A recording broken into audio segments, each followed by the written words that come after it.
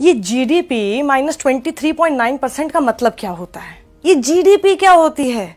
अगर ये नहीं समझ में आ रहा तो बस इतना समझ लीजिए कि जीडीपी खतरे में मतलब आपकी जेब खतरे में। अभी भी आपको तरह तरह से भ्रमित करने की कोशिश की जाएगी। जैसे, ये महामारी के कारण हुआ, जिस पर किसी का बस नहीं था। और सुनिए। हम कोई अकेला देश थोड़े हैं जिसकी जीडीपी इन दिनों इतनी खराब है? हाँ और ये भी। हमने आत्मनिर्भर किया लोकल फॉर वोकल के लिए आवाज़ उठाई। तो अब ये मैं आपको एक एक करके सिलसिलेवार तरीके से बताऊँगी और इन सभी सवालों के जवाब तर्कों के साथ दूँगी। तो पहला सवाल, क्या कोविड ने सिर्फ़ हमारे देश की ही अर्थव्यवस्था को इतना आहत किया है? तो इसका जवाब इस ग्राफ से आप समझ सकते हैं। जवाब है नहीं। कोरोना की वजह से विश्व भर में सभी अर्थव्यवस्था इस वक्त चरमराई हुई है। लेकिन क्या सभी अर्थव्यवस्थाओं को एक ही जैसे तरीके से चोट पहुंचाई है कोविड ने? तो उसका जवाब है नहीं। उसके लिए एक बार फिर ये ग्राफ देखिए। चीन, जहाँ से ये बीमारी आई है, उसको देख लीजिए 3.2 परसेंट पर ग्रो कर रहा है। हम्म।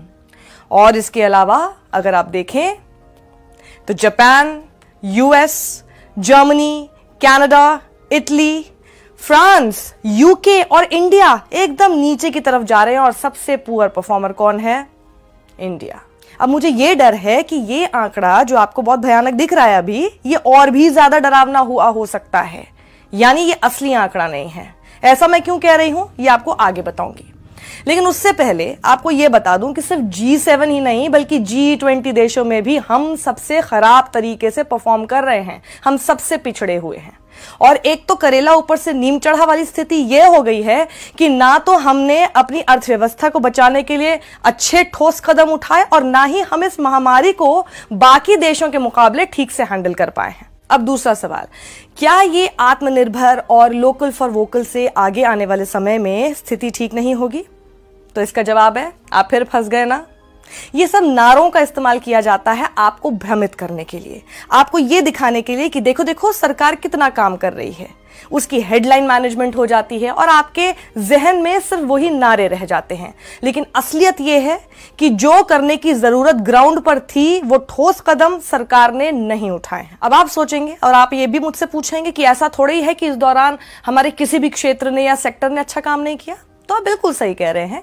इस दौरान अगर किसी सेक्टर ने सबसे अच्छा काम किया है तो वो है हमारा कृषि क्षेत्र एग्रीकल्चर फिशिंग एंड फॉरेस्ट्री जो अभी भी 3.4 परसेंट की ग्रोथ से आगे बढ़ रहे हैं।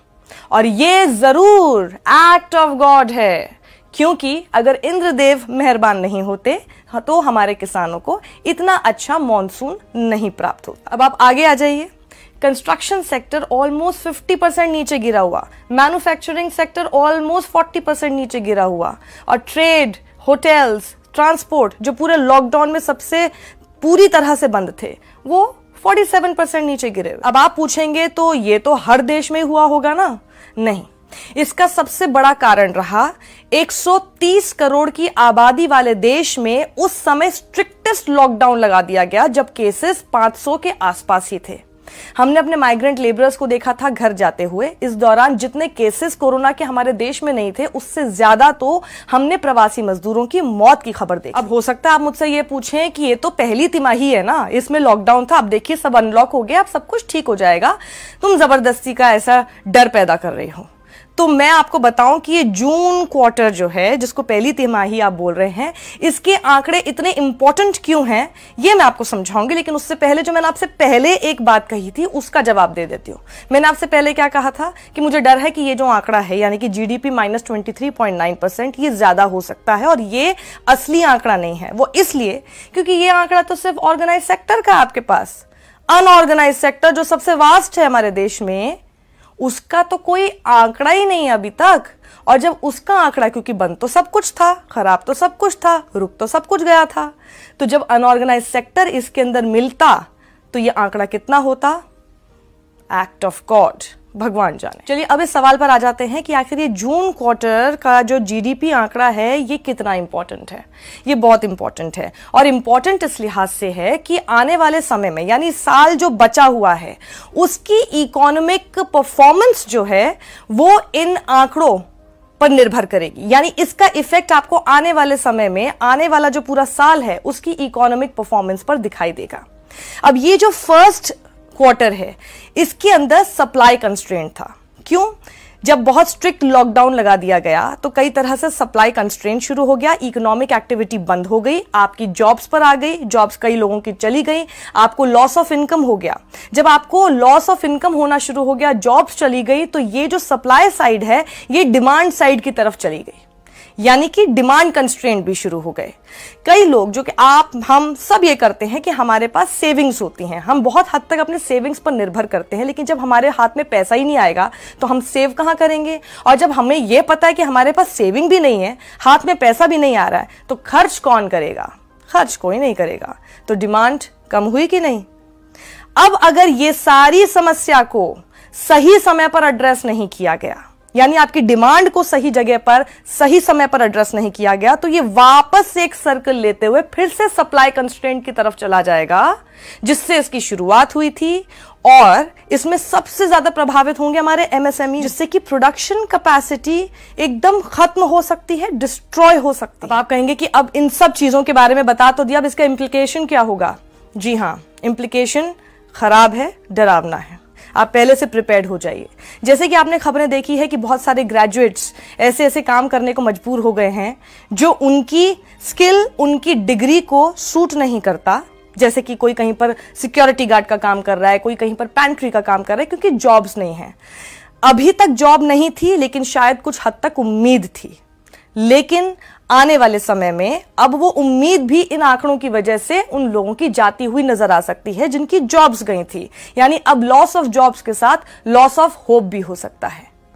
गरीबी बढ़ सकती है, भूखमरी बढ़ सकती है, कुपोषण का शिकार छोटे बच्चे हो सकते हैं। और तो और, कई लोग जो कि गाँवों की तरफ़ से अर्बन एरियाज़ में इसलिए आएँगे कि उनको वहाँ पर आकर नौकरी मिले एम्प्लॉयमेंट मिले, लेकिन मिलेगी नहीं, क्योंकि काम नहीं है और जब काम नहीं मिलेगा, आए वो वहाँ पर है तो हो सकता है कि आपको सड़कों पर भीख मांगते हुए लोग ज़्यादा नज़र आ जाए। तो इसलिए अब आप ये भी कहेंगे कि फिर आप ही बताइए सोल्यूशन क्या? देखिए, हमारे सोल्यूशन बताने से तो कुछ होता नहीं, क्योंकि सोल्यूशन लगातार सरकार को बताए जाते हैं, लेकिन सरकार कुछ करती नहीं है। सरकार सुनती नहीं है।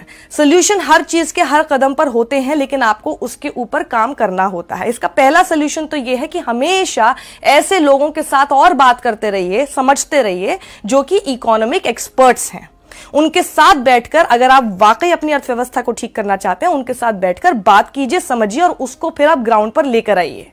अब इसका सबसे पहला सोल्यूशन तो यह है कि आपको मनरेगा को डबल लिमिट कर देनी चाहिए। उसका जितनी लिमिट आपने अभी तक दी है, उसको आप बढ़ा दीजिए। उसमें कानून का कोई लेना देना नहीं है, वो आप खुद से भी कर सकते हैं।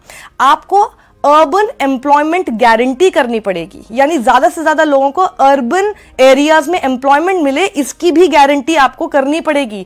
तब जाकर लोग वहाँ पर वापस भी आएँगे, वहाँ पर आकर काम करना शुरू करेंगे और उनको ये बात की उम्मीद रहेगी कि उनको जॉब मिलेगी। गारंटी है।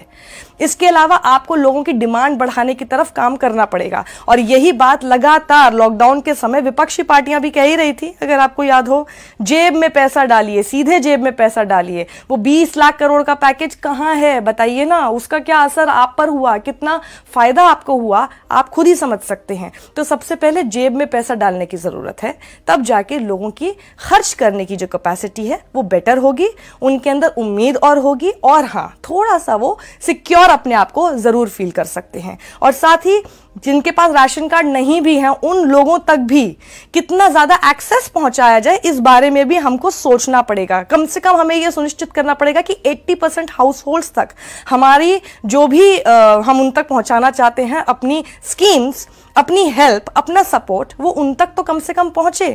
और लास्टली मैं आपको बता दूँ, एक सितंबर से ही जो ईएमआई e के आपके बोझ थे, यानी कि जो इतने दिनों से आपके ऊपर नहीं थे, वो वापस से आने वाले हैं। तो इसके ऊपर ज़रूर सोचना पड़ेगा कि इस मॉरिटोरियम को आगे भी एक्सटेंड करना पड़ेगा।